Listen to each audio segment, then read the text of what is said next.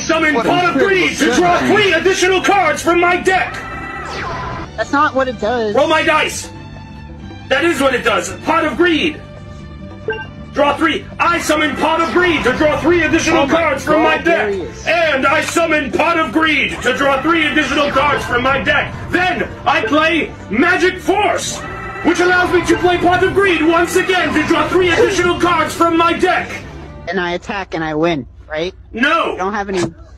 Well, you don't have any monsters, and my Oh, he's supposed to be here. Uh, My, numbers turn. I summon Dark Magi- Magician. I also Magician summon Jack's Knight. What? How? You can't What are you summon a bunch of cards on one turn. It's against the rules. You never saw this coming. I summon Pot of Greed to draw three additional cards from my deck. That's not what it does.